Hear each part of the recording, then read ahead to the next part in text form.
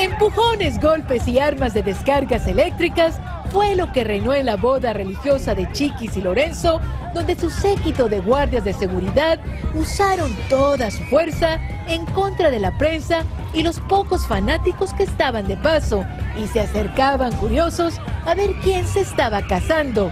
Y cuando llegó el lujoso Rolls Royce donde venía la novia, parecía que había llegado la mismísima Mary Poppins, porque rodearon a Chiquis de varias sombrillas y paraguas para que no la viéramos y al final todos mirábamos al cielo esperando de un momento a otro que saliera volando Chiquis como la heroína de la famosa película, pero la pobre tuvo que entrar a la iglesia en medio de gritos y empujones y por un segundo hizo contacto con nuestra cámara y nos mandó un saludo en medio del caos provocado por su propia seguridad.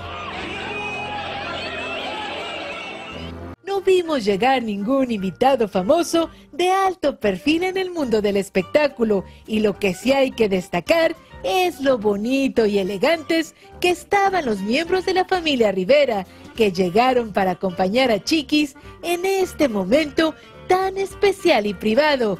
Al único que no vimos fue a Lupillo, quien en ese momento estaba llegando a México y nosotros lo entrevistamos en el aeropuerto y lo verán un poco más adelante. Eso sí, los invitados para entrar debían de pasar por esta pequeña mesa y para decir verdad el temor de Chiquis y su familia era de que el lugar se les llenara porque nosotros pusimos la invitación en la pantalla, pero nunca sucedió eso porque no habían en las afueras más que 50 fanáticos que pasaban por ahí y se preguntaban quién se estaba casando con tanta seguridad. Los guardias también estaban bastante agresivos con estos curiosos. Hay muchos que están aquí con sus teléfonos que nos van a también a, regañar, a amenazar como el señor Juan hizo a X personas. Come on, eso no se hace. Son famosos por nosotros. Sí, no son nada ellos. Aquí realmente no había mucha gente, había más prensa y seguridad. Entonces creo que uno tiene, tiene que siempre decir gracias a Dios si la prensa toma um, ese momento para venir. La ceremonia dentro de la iglesia duró alrededor de 40 minutos y como si fuera la salida de nuestro presidente Trump y su esposa Melania de la iglesia, los guardias hicieron tremendo showcito de tomarse de las manos para hacer una especie de cordón humano, para que creyéramos que por ahí iban a salir los novios, cuando en realidad ya se habían escapado por la puerta del fondo como cualquier empleado de servicio.